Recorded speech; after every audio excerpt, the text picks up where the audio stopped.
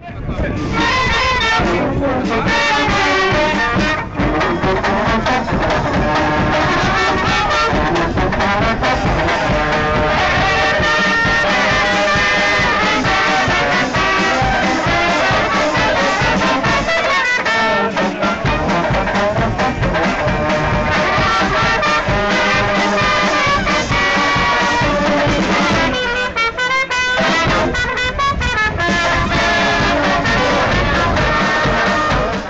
Är det lyxigaste man kan äta på sin första maj-picknick?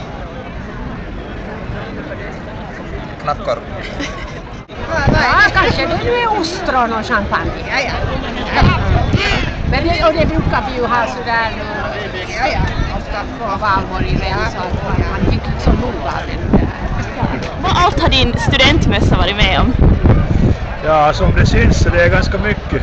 Kan du visa den? Alla de här märkena här så. Va, vad berättar de om?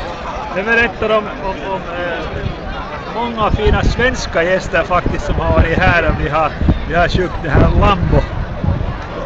Och det här, och så vänder man glaset upp och ner och, och det här och en gång hände det så att det var inte heller vitt vin i glaset utan det var rödvin och då blev märkena så här.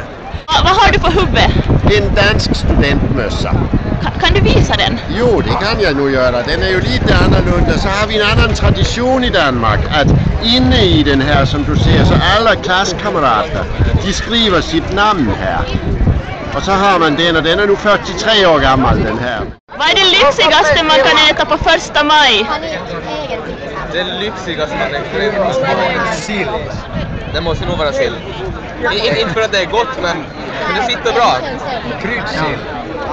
Inte säl. Okej, vad har du Det går hem. Du fick den just.